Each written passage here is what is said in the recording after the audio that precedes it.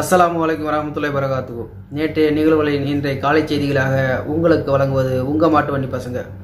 நாம் தமிழர் சீமான் அவர்கள் கூறுகையில் கோழிக்கோடு விமான விபத்து வளமை போல் கேரள மாநிலம் இப்பே பெரும் துயரில் இருந்து மீண்டு வரும். வேளாண் கட்டமைப்பு நிதியின் கீழ் நிதியுதவி வழங்கும் வசதியையும் கிசான் திட்டத்தின் கீழ் பலன்களையும் பிரதமர் நரேந்திர மோடி அவர்கள் இன்று தொடங்கி வைக்கிறார். ரூபாய் ஒரு லட்சம் கோடி மதிப்பிலான நிதி அறுவடைக்கு பிந்தைய மேலாண்மை கட்டமைப்பு மற்றும் தரிசு நிலங்களில் கூட்டு விவசாய முறையை ஊக்குவிக்கும். நாட்டில் உள்ள யானைகளை பாதுகாக்க யானைகள் திட்டத்தை மத்திய அரசு கடந்த ஆயிரத்தி தொள்ளாயிரத்தி தொண்ணூற்றி ஒன்றாம் ஆண்டு மற்றும் தொண்ணூற்றி ரெண்டாம் ஆண்டு ஏற்படுத்தியது. யானைகள் மிகவும் புத்திசாலித்தனமான உயிரினங்களில் ஒன்றாக இருக்கின்றன. அவற்றுடன் நாம் இந்த பூமியில் வாழ்கிறோம். யானைகள் வலுவான உணர்ச்சிகளை வெளிப்படுத்துகின்றன. இந்தியாவின் தெற்கு கிழக்கு வடமேற்கு மற்றும் வடகிழக்கு பகுதிகளில் யானைகள் காணப்படுகின்றன. எதிர்கால தலைமுறையினருக்காக யானைகள் பாதுகாப்பு பற்றிய விழிப்புணர்வை ஏற்படுத்த உலக யானைகள் தினத்தில் நாமும் இணைந்திருப்போம். சென்னை விமான நிலைய சுங்கத்துறை துபாயிலிருந்து air India express nine one six four four விமானம் மூலம் வந்த பயணியை பரிசோதனை செய்ததில் அவரது மொபைல் ஃபோனின் பின்புறம் மறைத்து வைக்கப்பட்டிருந்த ரூபாய் ஒன்பது லட்சத்துக்கு மேல் மதிப்புள்ள நூற்றி தொண்ணூத்தெட்டு கிராம் எடையுள்ள ஆறு தங்க நாணயங்கள் கஸ்டம்ஸ் ஆக்ட் கீழ் கைப்பற்றப்பட்டன. வங்கி சாரா நிதி நிறுவனங்கள் மற்றும் வீட்டுக்கடன் வசதி நிறுவனங்களின் பணப்புழக்க நிலையை மேம்படுத்தும் நோக்கில் தற்சார்பு இந்திய திட்டத்தின் கீழ் ரூபாய் முப்பதாயிரம் கோடி மதிப்பிலான சிறப்பு பணப்புழக்க திட்டம் அறிவிக்கப்பட்டது. கொரோனா பரவலை கட்டுப்படுத்த மத்திய அரசின் வழிமுறைகளை தீவிரமாக கடைபிடிக்க நடவடிக்கை எடுக்குமாறு நாலு மாநிலங்களுக்கு அறிவுறுத்தல். தமிழகம் சென்னை காஞ்சிபுரம் திருவள்ளூர் ராணிப்பேட்டை தேனி திருச்சி தூத்துக்குடி விருதுநகர். குஜராத் அகமதாபாத் சூரத் பெலகவி கர்நாடகா பெங்களூரு கல்புர்கி உடுப்பி தெலுங்கானா ஹைதராபாத் மெட்சல் மல்காஜ்கிரி. நாளை முதல் மாநகராட்சி பகுதிகளில் சிறிய வழிபாட்டு தலங்களை திறக்க அனுமதி. முதலமைச்சர் எடப்பாடி பழனிசாமி உத்தரவு. மாவட்ட ஆட்சியர்களின் அனுமதி பெற்று பொதுமக்கள் தரிசனத்துக்கு அனுமதிக்கலாம் என அறிவுறுத்தல். நாளை முதல் தமிழகம் முழுவதும் ஓட்டுநர் பயிற்சி பள்ளிகள் செயல்பட அனுமதி. அரசு வெளியிட்டுள்ள நிலையான வழிகாட்டு நடைமுறைகளை பின்பற்ற அறிவுறுத்தல். ஆதார் உள்ளிட்ட ஆவணங்களை சமர்ப்பித்து எளிதாக இ பாஸ் பெறலாம். சென்னை மாநகராட்சி ஆணையர் பிரகாஷ் அறிவிப்பு. புரோக்கர்கள் தனிநபர்களை பொதுமக்கள் நாட வேண்டாம். சென்னை மாநகராட்சி ஆணையர் அறிவுறுத்தல். சென்னையில் கொரோனா தடுப்பு பணி மூன்று அல்லது நான்கு மாதங்களுக்கு தொடர வேண்டும். மாநகராட்சி ஆணையர் பிரகாஷ் அறிவிப்பு. லஞ்சம் பெற்று இ பாஸ் வழங்கும் அதிகாரிகள் மீது இரும்புகரம் கொண்டு நடவடிக்கை எடுக்க வேண்டும். தமிழக அரசுக்கு சென்னை உயர்நீதிமன்றம் உத்தரவு. கொரோனா நேரத்திலும் இரத்த தாகம் கொண்ட ஓநாய்கள் போல ஊழல் ஊழியர்கள் செயல்படுகின்றனர். இ பாஸ் வழங்க ரூபாய் ஐநூறு முதல் ரூபாய் இரண்டாயிரம் வரை லஞ்சம் பெறப்படுவதாக உயர்நீதிமன்றம் வேதனை. பிஆர் படிப்பில் வெளிநாடு வாழ் இந்தியர்களுக்கு பதினைந்து சதவீத இடஒதுக்கீடு. இரண்டு வாரங்களில் அறிவிப்பானை வெளியிட வேண்டும். அண்ணா பல்கலைக்கழகத்துக்கு சென்னை உயர்நீதிமன்றம் உத்தரவு. சேலத்தில் முதலமைச்சர் எடப்பாடி பழனிசாமி அவர்கள் செய்திகளை சந்தித்தார். சேலத்தில் போக்குவரத்து நெரிசலை கட்டுப்படுத்த பாலங்கள் அமைப்பு சேலத்தில் சாலை விரிவாக்க பணிகளும் தொடங்கப்பட உள்ளன. கூட்டு குடிநீர் திட்டம் மூலம் பாதுகாக்கப்பட்ட குடிநீர் வழங்கப்பட்டு வருகிறது. குடிமரமாத்து திட்டம் சிறப்பாக செயல்படுத்தப்பட்டு வருகிறது. டெல்டா பகுதிகளில் நாலு லட்சம் ஏக்கர் பரப்பளவில் பயிர் சாகுபடி. கூடுதலாக ஐந்து லட்சம் மெட்ரிக் டன்னில் கொள்முதல் முறையான ஆவணங்களுடன் விண்ணப்பித்தால் இ பாஸ் வழங்கப்படும். இ பாஸ் முறையை எளிமையாக்கவும் குறைபாடுகளை களையவும் மாவட்ட ஆட்சியர்களுக்கு முதல்வர் எடப்பாடி பழனிசாமி அவர்கள் உத்தரவிட்டுள்ளார். புதிய கல்விக் கொள்கையில் திருத்தங்கள் கொண்டு வர வேண்டும். பிரதமர் மோடிக்கு திமுக தலைவர் ஸ்டாலின் கடிதம். மும்மொழி கொள்கையை திரும்ப பெற ஸ்டாலின் வலியுறுத்தல். புதிய கல்விக் கொள்கையில் இடஒதுக்கீடு பற்றி எதுவும் குறிப்பிடப்படவில்லை.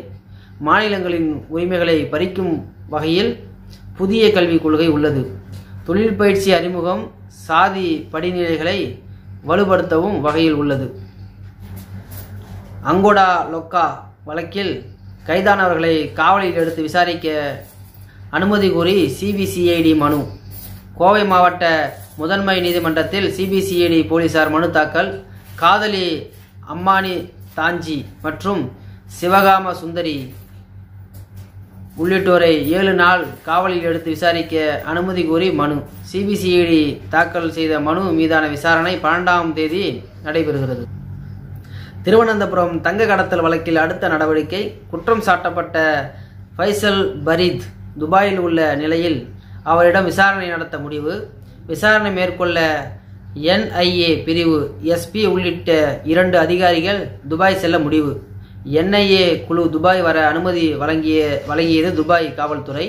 தங்கம் கடத்தல் வழக்கில் ஸ்வப்னா உள்ளிட்டோர் கைது செய்யப்பட்டுள்ளனர்.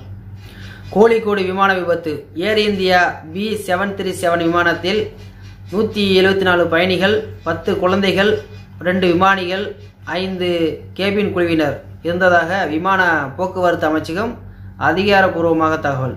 விமான பயணிகள் நிலை குறித்து அறிய தொடர்பு எண் வெளியீடு. மலப்புரம் ஆட்சியர் ஜீரோ நான்கு எட்டு மூன்று ரெண்டு ஏழு மூணு ஆறு மூணு ரெண்டு ஜீரோ. கோழிக்கோடு ஆட்சியர் ஜீரோ நான்கு ஒன்பது ஐந்து ரெண்டு மூன்று ஏழு ஆறு ஒன்பது ஜீரோ ஒன்று ஆகும். கேரளாவில் ஏர் இந்தியா எக்ஸ்பிரஸ் விமானம் இரண்டாக உடைந்ததில் ரெண்டு விமானிகள் உட்பட பதினேழு பேர் பலி. விமானி டிஎம் சாதா துணை விமானி ஒரு குழந்தை உட்பட பதினேழு பேர் உயிரிழப்பு. நூற்றி எழுபத்தி மூணு பேர் மீட்பு. தீப்பிடித்திருந்தால் சிக்கல் மத்திய அமைச்சர் மத்திய விமான போக்குவரத்து மந்திரி ஹர்தீப் சிங் பூரி கூறும்பொழுது இரு விமானிகள் உள்பட பதினெட்டு பேர் உயிரிழந்து உள்ளனர். இது துரதிருஷ்டமானது. நூற்றி இருபத்தி ஏழு பேர் மருத்துவமனைகளில் சிகிச்சை பெற்று வருகின்றனர். மற்றவர்கள் சிகிச்சை முடிந்து சென்று விட்டனர். ஓடுதள பாதையின் முடிவு பகுதி வரை ஓட்டிச் செல்ல முயற்சித்து இருக்க வேண்டும். பருவமழை பொழிவால் ஏற்பட்ட சருகலான நிலையில் விமானம் ஓடுதள பாதையில் இருந்து விலகி சென்றுள்ளது. ஒருவேளை விமானம் தீப்பிடித்து இருந்தால் அதிக சிக்கலாக இருக்கும். கேரளாவில் விபத்துக்குள்ளான விமானத்தின் கருப்பு பெட்டி கிடைத்தது. விமானத்தின் போது விமானத்தில் நடந்த நிகழ்வுகள் கருப்பு பெட்டியில் பதிவாகியிருக்கும் மோசமான வானிலை விபத்துக்கு காரணமா? சக்கரம் சுழலானது விபத்தை ஏற்படுத்தியதா? தீவிர விசாரணை. கேரளா விமான விபத்தில் உயிரிழந்தவர்களின் குடும்பத்திற்கு தலா ரூ பத்து லட்சம் நிவாரணம். சொல்லலாம். கேரளா விமான விபத்தில் உயிரிழந்தவர்களின் குடும்பத்திற்கு தலா ரூபாய் பத்து லட்சம் நிவாரணம். மத்திய விமான போக்குவரத்து துறை அமைச்சர் ஹர்தீப் சிங் பூரி அறிவிப்பு. படுகாயம் அடைந்தவர்களுக்கு தலா ரூபாய் ரெண்டு லட்சம் சிறுகாயம் அடைந்தவர்களுக்கு தலா ரூபாய் ஐந்தாயிரம் நிவாரணம் வழங்கப்படும். விபத்து நடந்த இடத்தில் நேரில் ஆய்வு செய்த பிறகு மத்திய அமைச்சர் ஹர்தீப் சிங் பூரி அறிவிப்பு. கோழிக்கோடு விமான விபத்து சம்பவத்திற்கு முதலமைச்சர் எடப்பாடி பழனிசாமி அவர்கள் இரங்கல். காயமடைந்தவர்கள் விரைவில் குணமடைய இறைவனை பிரார்த்திக்கிறேன். உறவுகளை இழந்தவர்களுக்கு அதனை தாங்கும் சக்தியை இறைவன் கொடுக்க வேண்டும். கோழிக்கோட்டில் விமானம் விபத்துக்குள்ளான செய்தி அறிந்து அதிர்ச்சி அடைந்தேன் இந்த விபத்தில் இறந்தவர்களின் நண்பர்கள் மற்றும் குடும்பத்தினருக்கு ஆழ்ந்த இரங்கல். காயமடைந்தவர்களை விரைவாக குணமடைய பிரார்த்திக்கிறேன். ராகுல் காந்தி இரங்கல். கேரளா மூணாறு அருகே ராஜமலையில் கனமழையால் ஏற்பட்ட நிலச்சரிவில் சிக்கி பதினேழு பேர் உயிரிழந்துள்ளனர்.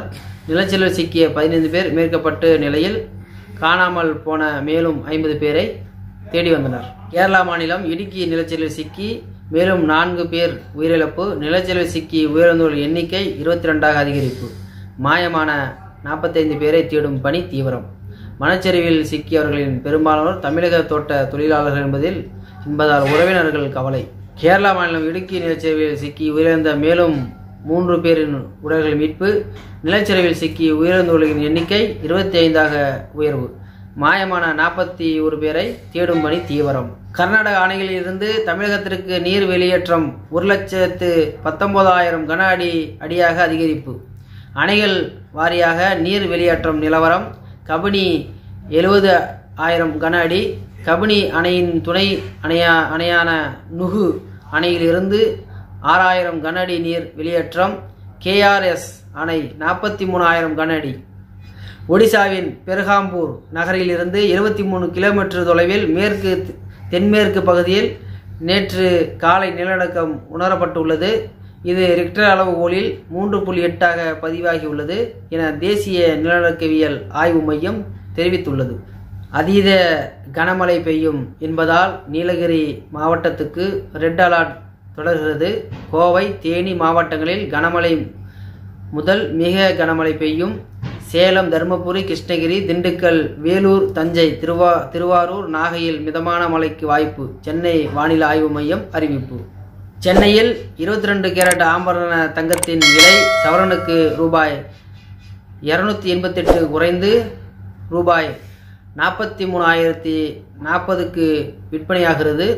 ஒரு கிராம் தங்கத்தின் விலை ரூபாய் முப்பத்தி ஆறு குறைந்து ஐயாயிரத்தி முந்நூற்றி எண்பது ரூபாய்க்கு விற்பனை செய்யப்படுகிறது. தமிழகத்தில் இன்று ஐந்தாயிரத்தி எட்நூற்றி எண்பத்தி மூணு பேர் உட்பட மொத்தம் ரெண்டு லட்சத்தி தொண்ணூறாயிரத்தி தொள்ளாயிரத்தி ஏழு பேர் பாதிப்பு. சென்னையில் தொள்ளாயிரத்தி எண்பத்தி ஆறு பேருக்கு பாதிப்பு.